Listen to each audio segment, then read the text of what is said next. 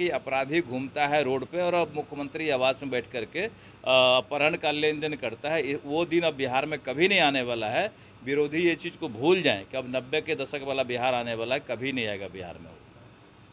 देखिए काफ़ी छोटा सत्र है, मानसून सत्र एक हफ़्ते का है और मुझे लगता है कि विकास के काम पे जो भी एजेंडा आएगा, उस पर काम होगा और सप्लीमेंट्री बजट भी है।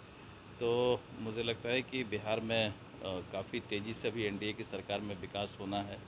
भारत की सरकार भी पुनः बनी है केंद्र की सरकार तो माननीय प्रधानमंत्री जी का भी विशेष फोकस है कि बिहार में विशेष तौर पर काम हो विशेष पैकेज भी मिलने का उम्मीद है सेंट्रल से भी। तो मुझे लगता है कि बिहार में निश्चित रूप से विशेष तौर पर काम हो। सर बिहार में बढ़ते क्राइम को लेकर कल विपक्ष ने लगातार हंगामा सड़क पे किया। ऐसे में सदन में भी देखने को मिल सकता है। देखिए विपक्ष को क्राइम पे बोलने का कोई अधिकार नहीं है। इसलिए कि जब जब विपक्ष के लोग, खास करके महागठबंधन के सरकार में रहते हैं तो पूरी तरह जंगल राज आता है। और नब्बे के दशक को आप याद करिए कि जब पंद्रह साल ये लोग राज किए थे तो किस तरह से जंगल राज व्याप्त था, उस समय इनको कुछ नहीं दिखाई पड़ रहा था। उस समय लालू जी को क्राइम नहीं दिखाई पड़ रहा था। अभी उनको क्राइम दिखाई पड़ रहा है। अब उनको लगता है कि चश्मा का पावर उन लोगों को बढ़ाना पड़ेगा। ये सुशासन की सरकार है, नीतीश कुमार जी की सरकार, एनडीए की सरकार है। यहाँ अगर अपराध होता है तो अपराधी की गिरफ्तारी होती है स्पीडी ट्रायल चलाया जाता है और उसे जेल भेजा जाता है, सजा कराया जाता है। ना कि अपराधी घूमता है रोड पे और अब मुख्यमंत्री आवास में बैठ करके अपहरण का लेन देन करता है। वो दिन अब बिहार में कभी नहीं आने वाला है।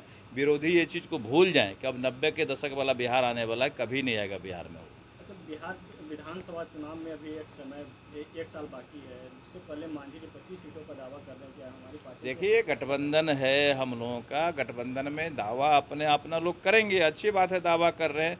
और पूरा जो हमारा टीम है जो हमारे नेता लोग हैं वो लोग बैठ के डिसाइड करेंगे कि किनको कितने सीट पर लड़ना है। दावा तो समय है अभी लोग दावा करते हैं। अच्छी बात है दावा करते रहना चाहिए। दावा करेंगे तब तो फिर उनका एडजस्टमेंट होगा कल प्रतिरोध मार्च के दौरान सभी जो विपक्षी दल के नेता हैं उन्होंने कहा है कि सरकार को विधानसभा के अंदर हमारे सभी प्रश्नों के सही जवाब देने होंगे। अन्यथा हम लोग विधानसभा नहीं हम लोग तो चाहते हैं कि विधानसभा चले और सरकार से सवाल जवाब करे, पक्ष विपक्ष सब लोग करे, विधायकों के लिए बड़ा मौका होता है विधानसभा चलना, जिसमें सवाल का जवाब होता है, समस्याओं का समाधान होता है।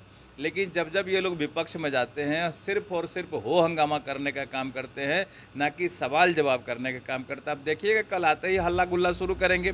हल्ला गुल्ला समाधान नहीं है। आप सवाल करिए, स्वस्थ सवाल करिए, जो बिहार में समस्याएँ हैं, उनके समाधान के लिए सवाल कीजिए।